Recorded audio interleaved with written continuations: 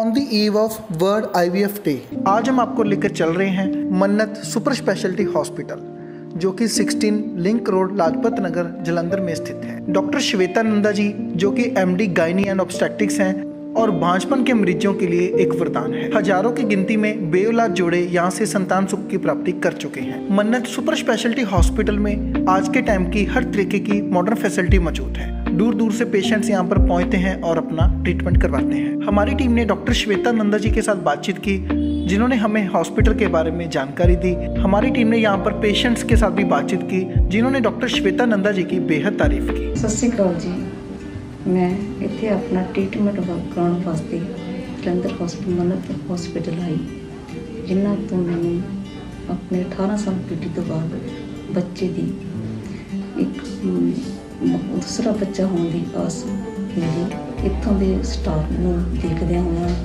Madam ਚੇਤਨੰਦਾ ਨੂੰ ਜਿਹਨੂੰ ਬਹੁਤ ਅੱਛੇ ਡਾਕਟਰ ਸਾਹਿਬ ਹੈ, ਉਹਨਾਂ ਨੇ ਮੈਨੂੰ ਸੰਭਾਲਿਆ।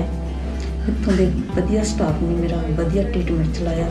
ਇੱਥੋਂ ਮੈਂ ਅੱਜ ਪੁੱਤਰ ਨੂੰ ਜਨਮ ਦਿੱਤਾ ਤੇ ਮੈਂ ਬਹੁਤ ਖੁਸ਼ ਹਾਂ। ਮੈਂ ਆਸ ਕਰਦੀ ਹਾਂ ਸਭ ਇਸ ਹਸਪੀਟਲ ਨਾਲ ਜੁੜਨ ਤੇ ਇਦਾਂ ਮੂੰਹ ਮੰਗੀਆਂ ਮਰਦ ਅੱਜ ਅਸੀਂ ਮਿਲਣ ਜਾ ਰਹੇ ਹਾਂ ਡਾਕਟਰ ਸ਼ਵੇਤਾ ਨੰਦਾ ਜੀ ਨੂੰ।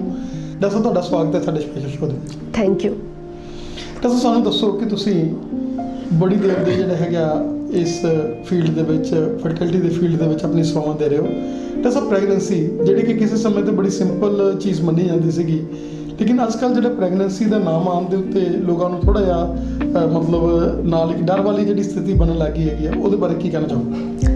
ਹਾਂਜੀ ਅੱਜ ਕੱਲ ਇਹ ਗੱਲ ਬਿਲਕੁਲ ਠੀਕ ਹੈ ਕਿ ਅਸੀਂ ਟਾਈਮ ਦੇ ਨਾਲ ਇਹ ਦੇਖ ਰਹੇ ਹਾਂ ਕਿ ਪ੍ਰੈਗਨੈਂਸੀ ਦੀ ਜਿਹੜੀਆਂ ਕੰਪਲਿਕੇਸ਼ਨਸ ਹੈ, ਉਹ ਹੌਲੀ-ਹੌਲੀ ਵੱਧਦੀਆਂ ਜਾ ਰਹੀਆਂ। ਜਿਹਨੂੰ ਕੋਈ ਇੱਕ ਨਾਰਮਲ ਫਿਜ਼ੀਓਲੋਜੀਕਲ ਪ੍ਰੋਸੈਸ ਹੋਣਾ ਚਾਹੀਦਾ ਹੈ ਕਿ ਕੁਦਰਤ ਵੱਲੋਂ ਇੱਕ ਹੈਲਦੀ ਪ੍ਰੈਗਨੈਂਸੀ 9 ਮਹੀਨੇ, ਆਮ ਤੌਰ ਤੇ ਇੱਕ ਨਾਰਮਲ ਪ੍ਰੈਗਨੈਂਸੀ ਅਸੀਂ ਇਹ ਸੋਚਦੇ ਹਾਂ ਕਿ ਕੋਈ ਐਸੀ ਸੀਰੀਅਸ ਮੈਡੀਕਲ ਜਾਂ ਕੋਈ ਹੋਰ ਕੰਪਲਿਕੇਸ਼ਨ ਨਹੀਂ ਆਏਗੀ। ਲੇਕਿਨ ਕੁਝ ਲਾਈਫਸਟਾਈਲ ਦਾ ਫ਼ਰਕ ਹੈ, ਬੱਚੇ ਵੀ ਪ੍ਰੈਸ਼ੀਅਸ ਹੈ। ਅੱਜ ਕੱਲ ਹਰੇਕ ਨੇ ਪਲਾਨ ਕਰਨਾ ਹੁੰਦਾ ਹੈ ਆਪਣੇ ਕੈਰੀਅਰ ਦੇ ਅਕੋਰਡਿੰਗ ਇੱਕ ਬੇਬੀ ਹੈ ਜਾਂ ਦੋ ਬੇਬੀ ਹੈ। ਔਰ ਫੈਮਿਲੀ ਦਾ ਪੂਰਾ ਫੋਕਸ ਇਸ ਚੀਜ਼ ਤੇ ਹੁੰਦਾ ਹੈ ਕਿ ਕਿਸੇ ਵੀ ਤਰ੍ਹਾਂ ਦੀ ਕੋਈ ਪ੍ਰੋਬਲਮ ਜਿਹੜੀ ਹੈ ਪ੍ਰੈਗਨੈਂਸੀ 'ਚ ਨਾ ਆਵੇ। ਦੂਸਰਾ ਲਾਈਫਸਟਾਈਲ ਚੀਜ਼ਾਂ ਹੈਗੀਆਂ ਡਾਈਟ ਇਸ ਤਰ੍ਹਾਂ ਦੀ ਹੋ ਚੁੱਕੀ ਹੈ। ਪੰਜਾਬ ਦੇ ਵਿੱਚ ਓਬੇਸਿਟੀ ਹੈ ਕਿ ਵਜ਼ਨ ਜ਼ਿਆਦਾ ਹੈ ਔਰ ਡਾਈਟ ਇੰਨੀ ਕੁ ਰਿਚ ਹੈ ਕਿ ਘਿਓ ਪਾ ਕੇ ਖਾਣਾ ਔਰ ਹੈਵੀ ਫੂਡ ਦਾ ਇੰਨਾ ਪ੍ਰਚਲਨ ਹੈਗਾ ਹੈ। ਥਾਇਰੋਇਡ ਦੀ ਸਮੱਸਿਆ ਵੱਧ ਗਈ ਹੈ। ਔਰ ਇਹਨਾਂ ਸਭ ਚੀਜ਼ਾਂ ਦੇ ਕਰਕੇ ਪ੍ਰੈਗਨੈਂਸੀ ਜੋ ਹੈ, ਅਸੀਂ ਦੇਖ ਰਹੇ ਹਾਂ ਕਿ ਟਾਈਮ ਦੇ ਨਾਲ-ਨਾਲ ਕੰਪਲਿਕੇਸ਼ਨਸ ਹੈ ਜਿਹੜੀਆਂ ਪ੍ਰੈਗਨੈਂਸੀ ਦੀਆਂ, ਉਹ ਵੱਧਦੀਆਂ ਜਾ ਰਹੀਆਂ। ਔਰ ਇਸ ਨੂੰ ਸਪੈਸ਼ਲ ਕੇਅਰ ਦੀ ਜ਼ਿਆਦਾ ਲੋੜ ਪੈ ਰਹੀ ਹੈ। ਪਹਿਲਾਂ ਤਾਂ ਲੇਡੀਜ਼ ਕਹਿ ਦਿੰਦੀਆਂ ਜੀ, ਸਾਡੇ ਤਾਂ ਚਾਰ ਬੱਚੇ ਹੋਏ ਸੀ, ਅਕਸਰ ਮਦਰ ਇਨ ਲਾਜ਼ ਇਹ ਕਹਿਣਗੀਆਂ। ਲੇਕਿਨ ਹਾਂ, ਜਿਹੜੀ ਹੁਣ ਦੀ ਪ੍ਰੈਗਨੈਂਸੀ ਹੈ, ਉਹ ਇੱਕ ਸਪੈਸ਼ਲ ਫੋਕਸ ਔਰ ਅਟੈਂਸ਼ਨ ਦੀ ਲੋੜ ਰੱਖਦੀ ਹੈ। ਜਿਹੜੀ ਪ੍ਰੈਗਨੈਂਸੀ ਦੀ ਤਿਆਰੀ ਹੈ, ਕਹਿ ਲਓ, ਇਹ ਪ੍ਰੈਗਨੈਂਸੀ ਹੋਣ ਤੋਂ 3 ਮਹੀਨਾ ਪਹਿਲੇ ਚਾਹੀਦੀ ਹੈ। ਸਾਡੇ ਕੋਲ ਬਹੁਤ ਸਾਰੇ ਅੱਜਕੱਲ ਲੇਡੀਜ਼ ਜਾਂ ਕਿ ਕੁੜੀਆਂ ਆਂਦੀਆਂ ਵੀ ਹੈ, ਲੇਕਿਨ ਵਰਨਾ ਇੱਕ ਫੋਲਿਕ ਐਸਿਡ ਹੈ, ਮੰਨ ਲਓ ਸਿੰਪਲ ਵਿਟਾਮਿਨ ਹੈ, ਜਿਹਦੀ ਕਿ ਜੇ ਡੈਫੀਸ਼ੀਐਂਸੀ ਹੋਵੇ, ਕਿ ਕੋਈ ਕੁੜੀ ਜਾਂ ਨਿਊਲੀ ਮੈਰਿਡ ਜਿਹੜੀ ਲੜਕੀ ਹੈ, ਉਹ ਫੋਲਿਕ ਐਸਿਡ ਦੀ ਗੋਲੀ ਜੋ ਮੈਰਿਜ ਦੇ ਨਾਲ ਹੀ ਉਹਨਾਂ ਨੂੰ ਸ਼ੁਰੂ ਕਰਨੀ ਚਾਹੀਦੀ ਹੈ, ਕਿਉਂਕਿ ਜੇ ਸਰੀਰ 'ਚ ਕਿਸੇ ਚੀਜ਼ ਦੀ ਡੈਫੀਸ਼ੀਐਂਸੀ ਹੋਵੇ, ਤਾਂ ਬੱਚੇ ਨੂੰ ਜਮਾਂਦਰੂ ਨੁਕਸ, ਕਈ ਵਾਰ ਅਸੀਂ ਸੁਣਿਆ ਹੋਣਾ ਹੈ ਕਿ ਕਿਸੇ ਬੱਚੇ ਦਾ ਸਿਰ ਨਹੀਂ ਬਣਿਆ ਜਾਂ ਪਿੱਠ ਤੇ ਫੋੜਾ ਹੈ ਜਾਂ ਲੱਤਾਂ ਨਹੀਂ ਚੱਲਦੀਆਂ। ਤਾਂ ਇਸ ਤਰ੍ਹਾਂ ਤਰ੍ਹਾਂ ਦੀਆਂ ਸੀਰੀਅਸ ਚੀਜ਼ਾਂ ਜੋ ਕਿ ਰੱਬ ਕਰੇ ਕਿਸੇ ਵੀ ਫੈਮਿਲੀ 'ਚ ਨਾ ਹੋਵੇ, ਲੇਕਿਨ ਇਹ ਚੀਜ਼ਾਂ ਦੀ ਇਨਸੀਡੈਂਸ ਵੱਧ ਜਾਂਦਾ ਹੈ। ਜੇ ਫੋਲਿਕ ਐਸਿਡ ਜਾਂ ਵਿਟਾਮਿਨਸ ਜਾਂ ਕੈਲਸ਼ੀਅਮ ਦੀ ਡੈਫੀਸ਼ੀਐਂਸੀ ਹੈ ਲੜਕੀ ਦੇ ਵਿੱਚ।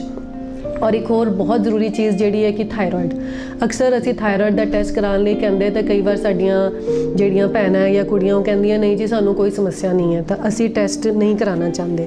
ਲੇਕਿਨ ਇਹ ਟੈਸਟ ਜਿਹੜੇ ਹੈ ਕਿ ਬਲੱਡ ਪ੍ਰੈਸ਼ਰ ਸ਼ੂਗਰ ਔਰ ਥਾਇਰੋਇਡ ਇਹ ਪ੍ਰੈਗਨੈਂਸੀ ਤੋਂ ਪਹਿਲਾਂ ਟੈਸਟ ਕਰਨੇ ਜ਼ਰੂਰੀ ਹੈ। ਕਿਉਂਕਿ ਜੇ ਕੋਈ ਇਸ ਤਰ੍ਹਾਂ ਦੀ ਦਿੱਕਤ ਆਵੇ, ਤਾਂ ਉਹ ਬੱਚੇ ਦੇ ਦਿਮਾਗ ਤੇ ਅਸਰ ਕਰਦੀਆਂ। ਤਾਂ ਪ੍ਰੈਗਨੈਂਸੀ ਤੋਂ ਪਹਿਲਾਂ ਇੱਕ ਫਿਟਨੈਸ ਹੋਣੀ ਜ਼ਰੂਰੀ ਹੈ ਕਿ ਉਹਦੀ ਲੜਕੀ ਦੀ ਬਾਡੀ ਫਿਟ ਹੈ, ਕਿ ਉਹ ਪ੍ਰੈਗਨੈਂਸੀ ਨੂੰ ਅੱਗੇ ਕੈਰੀ ਕਰ ਸਕਦੀ ਹੈ ਔਰ ਬੇਬੀ 'ਚ ਕਿਸੇ ਤਰ੍ਹਾਂ ਦੀ ਕੋਈ ਦਿੱਕਤ ਨਹੀਂ ਆਏਗੀ। ਹਰ ਪ੍ਰੈਗਨੈਂਸੀ ਦੇ ਵਿੱਚ ਜਿਹੜੇ ਪੂਰੇ ਦੁਨੀਆ ਦੇ ਵਿੱਚ ਵਰਲਡ ਓਵਰ ਇਹ ਹੈਗਾ ਕੰਸੈਂਸਸ ਹੈ ਕਿ ਤਿੰਨ ਵਾਰ ਅਲਟਰਾਸਾਊਂਡ ਜ਼ਰੂਰੀ ਹੈ। ਇੱਕ ਵਾਰ 2 ਮਹੀਨੇ ਤੇ 3 ਮਹੀਨੇ ਤੇ ਔਰ 4 ਮਹੀਨੇ ਤੇ। ਜਿਹੜਾ ਪਹਿਲਾ ਅਲਟਰਾਸਾਊਂਡ ਹੈ, ਉਹਦੇ ਤੇ ਅਸੀਂ ਇਹ ਦੇਖੀਦਾ ਕਿਉਂਕਿ ਜਿਹੜੀ ਮਦਰ ਨੂੰ ਫੀਲਿੰਗ ਹੈ ਬੇਬੀ ਦੀ, ਉਹ ਆਂਦੀ ਹੈ 5 ਮਹੀਨੇ ਤੇ ਬਾਅਦ। ਉਸ ਤੋਂ ਪਹਿਲਾਂ ਹੈ, ਇੱਕ ਕਈ ਲੋਕਾਂ 'ਚ ਇਹ ਵੀ ਧਾਰਨਾ ਬਣੀ ਹੋਈ ਹੈ ਕਿ ਜੀ ਅਲਟਰਾਸਾਊਂਡ ਛੇਤੀ ਨਹੀਂ ਕਰਨਾ ਚਾਹੀਦਾ। ਲੇਕਿਨ ਇਹ ਬਿਲਕੁਲ ਗਲਤ ਹੈ। ਜਿਹੜੀਆਂ ਅਲਟਰਾਸਾਊਂਡ ਹੈ, ਇਹ ਸਾਊਂਡ ਵੇਵਸ ਹੈ। ਕਿ ਜਿੱਦਾਂ ਮੈਂ ਤੁਹਾਡੇ ਨਾਲ ਗੱਲ ਕਰ ਰਹੀ ਹਾਂ, ਤਾਂ ਇੱਕ ਹਵਾ ਦੇ ਵਿੱਚ ਸਾਊਂਡ ਵੇਵ ਜਾ ਰਹੀਆਂ। ਤਾਂ ਅਲਟਰਾਸਾਊਂਡ ਉਸੇ ਦੀ ਇੱਕ ਵੇਰੀਏਸ਼ਨ ਹੈ, ਇਹ ਬੱਚੇ ਲਈ ਕਿਸੇ ਵੀ ਤਰ੍ਹਾਂ ਦਾ ਹਾਨੀਕਾਰਕ ਨਹੀਂ ਹੈ। ਅਲਟਰਾਸਾਊਂਡ ਕਰਕੇ ਸਾਨੂੰ ਪਤਾ ਲੱਗਦਾ ਹੈ 2 ਮਹੀਨੇ ਤੇ ਅਸੀਂ ਚੈੱਕ ਕਰੀਦਾ ਕਿ ਅੰਦਰ ਬੇਬੀ ਦੀ ਗਰੋਥ ਹੋ ਰਹੀ ਹੈ, ਧੜਕਣ ਜਿਹੜੀ ਹੈ, ਇਹ ਡੇਢ ਮਹੀਨੇ ਤੇ ਹੀ ਬਣ ਜਾਂਦੀ ਹੈ।